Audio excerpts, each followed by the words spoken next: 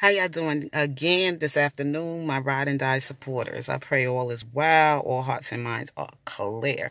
Something was put on my heart this afternoon to come with this video again to say to the women that are on the R. Kelly support team, you women, we are all women. We make up the biggest amount of supporters for Robert Sylvester Kelly.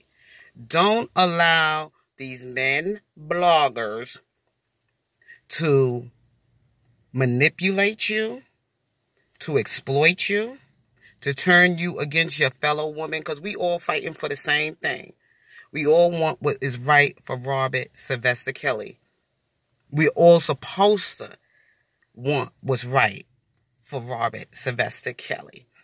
How can I follow a brother who sat up there, badmouthed this man. And it was done in February. And at that February, that's when they came and arrested R. Kelly. And R. Kelly was on his way to, um, at first, he was charged for child support, non payment of child support. And, um, and then afterwards, they came back to him again, and he got out those two times. But my video is going to stop. But when it stopped, I'm going to continue to um, with this video because it's very important that you hear all of this because I see a lot of you being exploited, manipulated, and abused financially. And I know some of you may be going through something right now, trying to struggle with your bills and pay for your children's education or whatever you're doing, and you all by yourself doing it. And these are the kind of brothers that keep you down. There's some good brothers out